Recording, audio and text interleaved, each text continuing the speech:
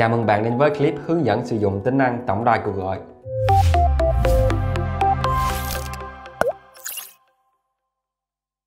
Bạn vào trang chủ GoSell, tổng đài. Tại đây, bạn sẽ thấy lịch sử cuộc gọi bao gồm tên, số điện thoại, loại cuộc gọi, thời lượng cuộc gọi, trạng thái, ngày thực hiện cuộc gọi, ghi âm cuộc gọi, người gọi. Bạn có thể lọc danh sách người gọi Điều này sẽ giúp bạn dễ dàng quản lý cuộc gọi của từng nhân viên hoặc lọc theo trạng thái cuộc gọi. Tổng thời lượng cuộc gọi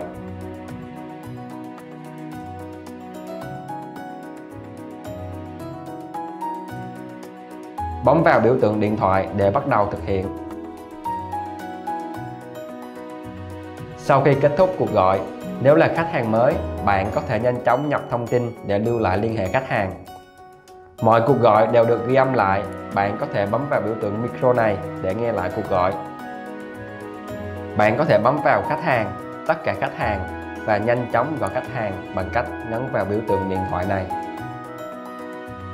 Khi bấm vào một khách hàng, bạn cũng có thể gọi khách hàng bằng cách nhấn vào biểu tượng điện thoại.